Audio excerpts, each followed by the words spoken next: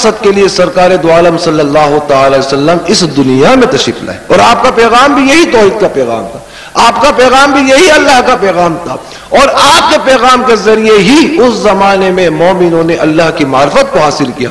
और अल्हम्दुलिल्लाह, अंजमन सरफुलशान इस्लाम, पाकिस्तान, आज किबला सरकार शाह साहब की सरपरस्ती के अंदर लोगों के कलूबों को बेदार कर रही है जगा रही है ताकि अपने जिन, अपने ज़िंदगी के मकसद को भी पहचाने और मार्फत इलाही को भी हासिल करें। बुमा बुलाओ।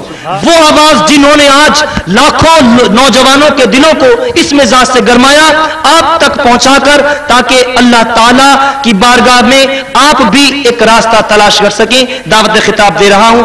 अपने मोहतरम बानी किबला सरकार रियाज अहमद गौहर शाही दामद बरकत मलालिया को इस्तकबाल फरमाए। नारे तकबीर नारे नारे हैदरी।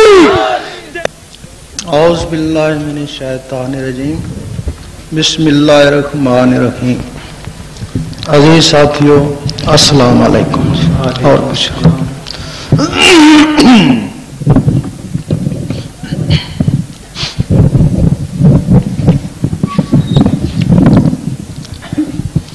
आपके इस महल्ले में आने का मकसद कोई सियासत नहीं है, किसी की मुखालफत नहीं है हुकूमत पे नुकता चीनी नहीं है।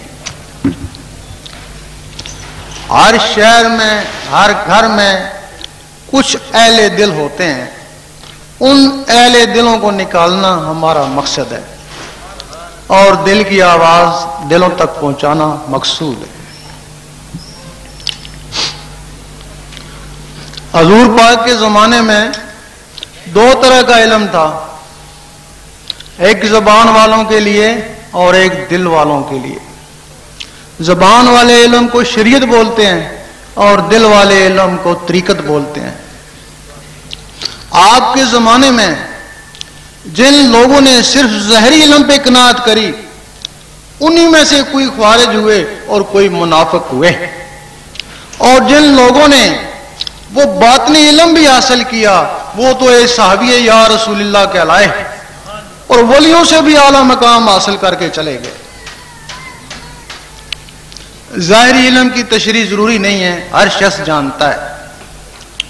बातनी इलम नापैद हो चुका, जिसकी वजह से बहत्तर तिहत्तर फिरके बन गए बातनी इलम किताबों में नहीं मिलता मस्जिदों में नहीं मिलता अदीस शरीफ में भी नहीं मिलता। अदीस शरीफ में सिर्फ़ उसके इशारे हैं। हज़रत अबू हरेरा रज़ी अल्लाह ताला फरमाते हैं, मुझे हजूर पाक से दो इलम हासिल हुए। एक तो मैं बता दिया, अगर दूसरा बताऊँ तो तुम मुझे कत्ल कर दो। कुरान मजीद में भी उसका इशारा है कि खिजर अलैहिस्सलाम को इल्म लदुन्नी था। इशारा है, वो इलम नहीं है। एक और जगह है कि अल्लाह ताला इल्म गैब के लिए अपने रसूलों को जिसको चाहे चुन लेता है।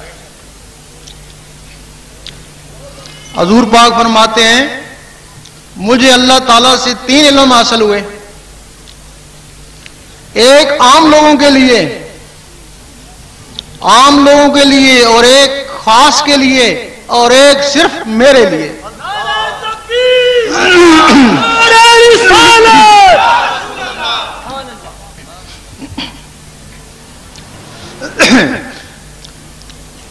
हज़रत इब्राहिम बिन औदम फरमाते हैं कि मैंने सत्तर मरतबा अल्लाह को देखा है। 120 मसले अल्लाह से सीखे। सिर्फ़ चार लोगों को बताए, सबने इनकार कर दिया। और इस इल्म बातन का एक और जगह है वाक्य है। एक दफ़ा शाह शमस तबरेज रहमतुल्ला मौलाना मौलाना रूमी के मकतब में चले गए। वो कुछ किताबों का मुताल कर रहे थे। तो शाह शमस तब्रेज पूछते हैं कि ई चीज़ कि ये क्या है? वो कहते हैं कि ई आलम अस के तू नमे दानी कि ये वो इलम है जिसको तू नहीं जानता। थोड़ी देर बाद उनको कोई हाजत हुई मौलाना रूमी को। बाथरूम में चले गए। मुड़ के आए तो शाह शमस ने वो किताबें उठा के पानी के हौज में डाल दी। अब वो पूछते हैं कि यहाँ मेरी किताबें थी, किधर गई? शाह शमस ने कहा कि मैंने पानी की हौज में डाल दी। उन्होंने कहा कि मेरे कीमती नुस्खे थे, जाया हो गए होंगे। उन्होंने क्या घबराते क्यों? अभी निकालता हूँ। जब निकाली तो वो उसी तरह खुश्क थी। उस वक्त मौलाना रूमी ने कहा कि ई चीज़। तो शाह शमस ने कहा इन आ इलम आस कि तू न मैदानी कि ये वो इलम है जिसको तुम नहीं जानते। हम मौलाना रूमी हदीस का भी इलम जानते थे, कुरान मजीद का भी जानते थे, सारे मसले मसाइल जानते थे, लेकिन वो कोई और इलम था। आज जब इस इलम की बात की जाती है तो हमारे बहुत से लोग कहते हैं, बल्कि बहुत से आलम भी कहते हैं कि ये दरवेश जंदीक हैं, मरदूद हैं, ना कुरान की बात, ना हदीस की बात। ये इनकी अपनी मन गढ़त बातें हैं। फिर लोग दरवेशों के पास जाते हैं। तो दरवेश कहते हैं कि मौलवी जाहिल है, इल्म बातन से मरूम है, इससे डरो और बचो। लोग परेशान हैं। कुछ आलमों के साथ लग गए और कुछ दरवेशों के साथ लग गए। लेकिन लोगों के लिए बेहतर यही है कि इल्म ज़ाहिर उलमा से सीखें और इल्म बातन दरवेशों से सीखें। उनको तो दोनों इलम चाहिए। सगी सुल्तानपुर रहमतुल्लाह फरमाते हैं कि तेरी उम्र बहुत कम है और इलम बहुत ही ज़्यादा है। जो ज़रूरी ज़रूरी है, उसको हासिल कर ले।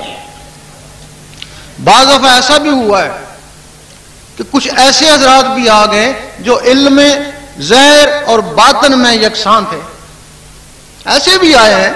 गौस पाक थे, मजद साहब थे, काजमी साहब थे मशवरी साहब थे। ऐसे लोग भी आए हैं। अगर ऐसा आदमी किसी को मिल जाए तो वो इन दोनों से बेहतर है। अब वो जो इल्म बातनी है, वो किताबों में नहीं, हदीस शरीफ में नहीं, फिर वो कहाँ है? कुरान मजीद में सिर्फ़ तीन अल्फाज में उसके इशारे हैं। अलफ, लाम, मीम। अलफ, लाम, मीम जकूरियत में है। जिसको तुम कहते हो रूफे मकत्यात इसको छोड़ दो। आगे चलो। एक हदायत अलफ लाम मीम से है और एक हदायत किताब से है। अलफ का मकसद है, अल्लाह अल्लाह का ज़िक्र कर। यह जकूरियत में है। अगर इसकी जलालत से घबराता है तो ला इल्लल्लाह का ज़िक्र कर। ये मोतदिल है। अगर इससे भी तू डरता है तो मी मोहम्मद रसूलिल्लाह का ज़िक्र कर। ये जो माली है। अलफ लाम मीम कुरान मजीद फरमाता है कि कुछ लोग ऐसे हैं जिनको नूर से हदायत है और जो लोग नूर से हदायत नहीं पा सके, फिर वो किताब में उलझे रहे सगी सुल्तान बोर रहमतुल्लाह फरमाते हैं, मैं किसी स्कूल, मदरसे में नहीं पढ़ा। मैंने सिर्फ़ कुरान मजीद का पहला लफज अल्लाह ले लिया और अल्लाह से अल्लाह अल्लाह करता रहा। अल्लाह। अल्लाह अल्लाह करने से मेरा सीना मुनवर हो गया।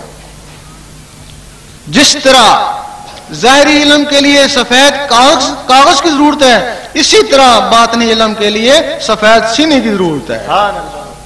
फरमाते हैं जब मेरा सीना मुनवर हो गया तो हजूर पाक ने मुझे सीने से लगाया। और वो बात नहीं इलम मेरे सीने में खुद बहुत दिया तेरा शाही मेरा शाही। हर शाही को हर शाही। तीन नबी का सच्चा दाई। हर शाही को हर शाही। जिनसे